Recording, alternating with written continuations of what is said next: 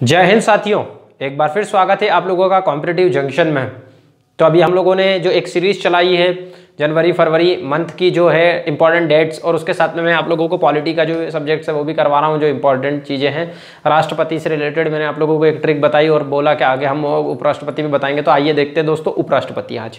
तो उपराष्ट्रपति हम लोगों को देखना और उससे रिलेटेड जितने भी इंपॉर्टेंट फैक्ट्स है।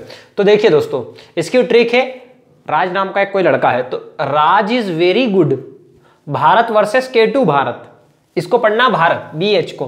बी एच को अपने को पढ़ना भारत। या आप चाहे तो बी एच भी पढ़ सकते हैं, अगर आपको सुविधा हो तो। वैसे तो भारत पढ़ेंगे तो ज़्यादा अच्छा रहेगा। Raj is very good, Bharat versus के to Bharat. Raj is very good, Bharat versus के to Bharat. Raj is very good, Bharat versus के टू भारत। और उधर क्या है राष्ट्रपति की? R Raj is very high, very phi B N G versus K P to R तो Raj is very good Bharat versus के टू भारत। तो ये है उपराष्ट्रपति की ट्रिक और उपराष्ट्रपति से ज़्यादा चीज़ें इंपॉर्टेंट इतनी है नहीं, लेकिन फिर भी जितने क्वेश्चन एग्ज़ाम में आए, वो सारे मैंने एक जगह कवर किए तो आप लोग इस तरीके से ध्यान रखना। देखिए दोस्तों आर ए आर ए से क्या हो जाएगा आपका? डॉक्टर राधा कृष्णन सर्वपल्ली राधा कृष्णन डॉक्टर सर्वपल्ली राधा कृष्णन ये निर्विरोध चुने गए थे, इनके अपोजिशन में कोई भी नहीं खड़ा हुआ, ये वाला क्वेश्चन बना हुआ एक बार। फिर फिलोसोफर थे, ये हम लोग उधर पहले देख चुके हैं। दो बार क्या बने हैं ये? उपराष्ट्रपति बने हैं। दो बार उपराष्ट्रपति बने। 1952 से 62 सन कभी नहीं पूछेगा, मैं फिर से आप लोगों को बता रहा हूँ। डॉक्टर जाकिर हुसैन 1962 से 67 के बीच में बने हैं ये अभी अबू खा की बकरी। उधर जो इंपॉर्टेंट चीज़ें थी वो हम लोगों ने देख ली थी। फिर बात करें वीवी गिरी साहब की तो देखो, जे से तो हो गया जाकिर हुसैन, फिर वी से क्या हो जाएगा आपका? वीवी गिरी। 1967 से 69 सन नहीं पूछेगा, लोड नहीं लेना है। फिर उसके बाद में गुड से क्या हो जाएगा? गोपाल स्वरूप पाठक। 1969 से 74 के बीच में गोपाल स्वरूप पाठक पूर्व भूतपूर्व कानून मंत्री मतलब पहले क्या थे ये? कानून मंत्री रह चुके थे, ये हम लोगों को ध्यान रखना है। आगे बात करें बी से क्या हो जाएगा आपका? बी डी जत्ती साहब। 1974 से 1979 बी डी जत्ती साहब बने आपके। फिर उसके बाद हम बात करें एच से क्या हो जाएगा? मोहम्मद हिदायतुल्ला साहब, ये निर्विरोध चुने गए थे। तो ये भी हम लोगों को ध्यान रखना है। मध्य प्रदेश के तो पहले मुख्य न्यायाधीश थे ये। तो 1979 से 84 के बीच में बने थे ये, निर्विरोध चुने गए थे। फिर उसके बाद में वी से क्या हो जाएगा आपका? वेंकट रमन साहब हो जाएँगे। वेंकट रमन साहब 84 से 87 के बीच बने। संविधान सभा के सदस्य थे। मोस्ट टाइम फैक्ट है ये, आप लोगों को ध्यान रखना है। वेंकट रमन साहब क्या थे? संविधान सभा के सदस्य थे। फिर एस से क्या हो जाएगा आपका? डॉक्टर शंकर दयाल शर्मा, जो कि राष्ट्रपति भी बने, अपने को पता है। तो ये मध्य प्रदेश के थे। एस से शंकर दयाल शर्मा हो जाएगा। और ये भी क्या थे? निर्विरोध चुने गए। शंकर दयाल शर्मा साहब भी क्या हुए? निर्विरोध चुने गए। इनके अपोजिशन में भी कोई नहीं खड़ा हुआ।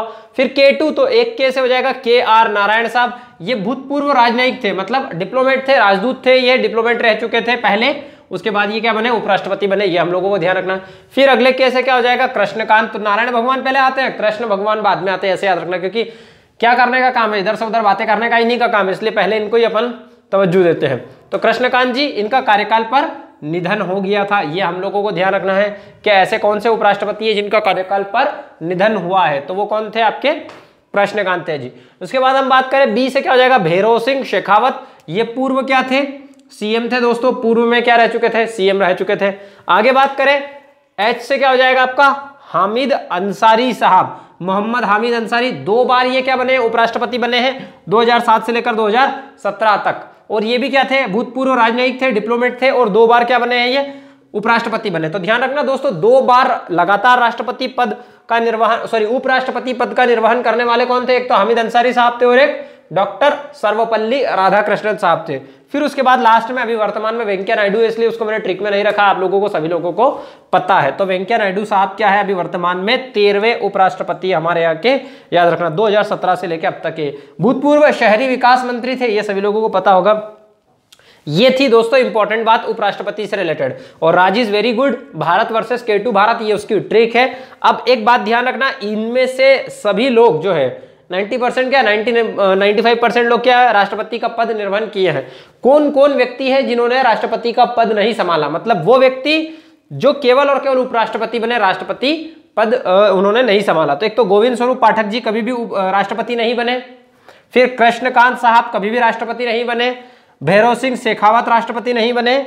और हामिद अंसारी साहब राष्ट्रपति नहीं बने। और वेंकैया नायडू साहब कभी भी राष्ट्रपति नहीं बने। तो एक, दो, तीन, चार और पाँच पाँच ऐसे उपराष्ट्रपति हैं जिन्होंने राष्ट्रपति पद का निर्वहन नहीं किया। बाकी जितने भी उपराष्ट्रपति हैं, उन्होंने उपराष्ट्रपति पद के साथ साथ में राष्ट्रपति भी वो बने हैं। ठीक है दोस्तों? तो ये उपराष्ट्रपति से रिलेटेड आपकी एक शॉर्ट वीडियो थी, ज़्यादा ये बड़ा नहीं है। ठीक है तो आप इसको याद रखिए, इसकी ट्रिक भी याद रखिए और बहुत बार इससे एग्ज़ाम में क्वेश्चन बने हैं। तो जय हिंद साथियों, धन्यवाद।